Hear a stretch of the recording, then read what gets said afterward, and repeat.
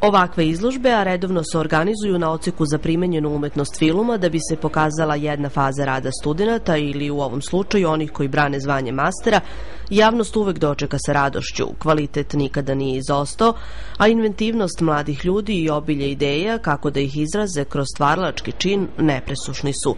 Izložbom u galeriji Univerzitetske biblioteke predstavljaju se studenti sa smerova za grafički dizajn i zidno slikarstvo. To je njihov poslednji praktični korak pred završni ispit kojim će odbraniti titulu mastera. Posle pet godina ovo je master izložba klase zidnog slikarstva o kojoj ja mogu da pričam jer sam deo te klase. Nas deset je ovde, 11 plus još jedan momak koji je od prethodne godine ostao da završi.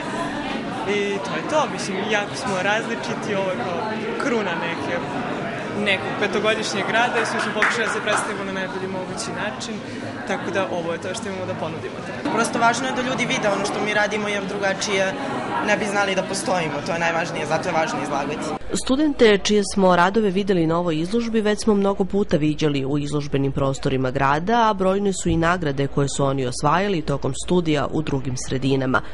Osim što savlađuju osnovna znanja, ovi mladi ljudi između ostalog uče kako da osvajaju svoj put na likovnoj sceni i to će u danima koji dolaze pokušati da iskoriste.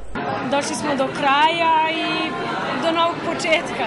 Tek sad počinje ono pravo posle studija. Tek počinje život, kako da kažem.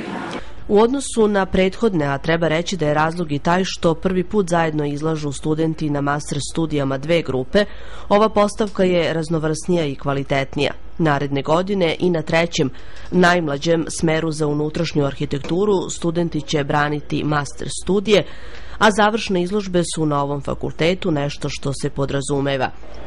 Javnost tako stiče uvid u rezultate ove visokoškolske ustanove, koji su na zavidnom nivou, a ujedno je to i prilika da se upozna sa umetničkim potencijalima grada.